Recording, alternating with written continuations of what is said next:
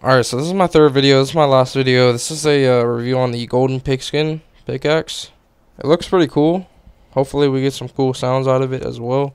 But, um, I don't know. Yeah, there's a lot of stuff that dropped today. New new football skins, referee skins, three new pickaxes, and a glider. So, definitely, uh, definitely a lot dropped. But, uh, here's the Golden Pigskin pickaxe that I'm going to re uh, review for you guys. So, um, yeah, 500 V-Bucks. Let's get right into this, though. I'm going to hop in Playground for you guys, see what it sounds like. Alright, here we are in game. As you guys can see, this pickaxe looks pretty cool. Hopefully it sounds alright, but um, let's go ahead and see.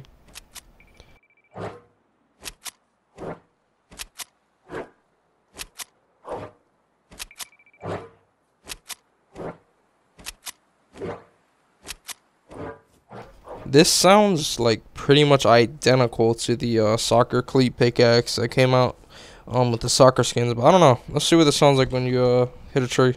Then we'll see.